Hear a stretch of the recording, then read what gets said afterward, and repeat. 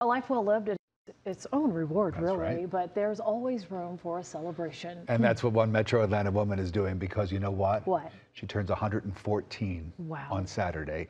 Atlanta News First Sawyer Bussey spoke with her as she approaches this major milestone.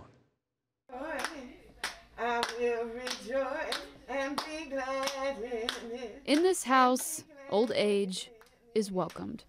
This is the day. that This is Nina Lord Willis.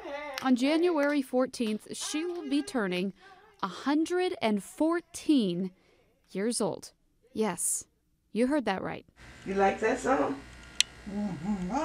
I know you do. Nina has family members who check on her. They mean the world to me. I just love them both. She makes me laugh a lot and it just brings joy to my heart. But she lives with her caretaker, her 97 year old sister. Uh, nothing I wouldn't do for her. The girls have spent most of their lives in Georgia.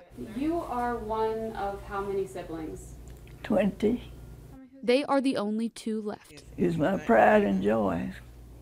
So I intend to take care of her if, if, if she don't outlive me. The ladies proudly display their multiple letters from the mayor over numerous birthdays on the walls, and their letters from their beloved baseball team, the Atlanta Braves. They watch baseball. They can tell you all about baseball. It's just amazing. They also have photos of the many people who were significant in their lives on the walls. It's a long time ago. This picture done turned brown.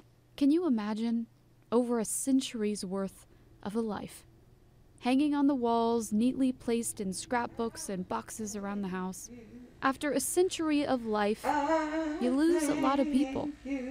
But that also means you loved many times. all you're going. Sawyer Bussey, Atlanta News First. Faithful.